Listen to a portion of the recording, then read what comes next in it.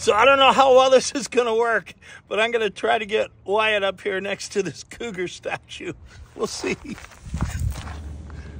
So we're in Cougar, Washington. We got to stop off at the cougar. Oh, you see him now. What is that? Come on, up. What are you, are you, you looking at him? You want to see him? There's all sorts of activity here, isn't there? Come here.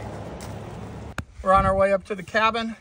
We're going to check uh, trail cams, probably deploy half a dozen, and hopefully we'll pick up just as many. And we've got Sean and Apollo coming up.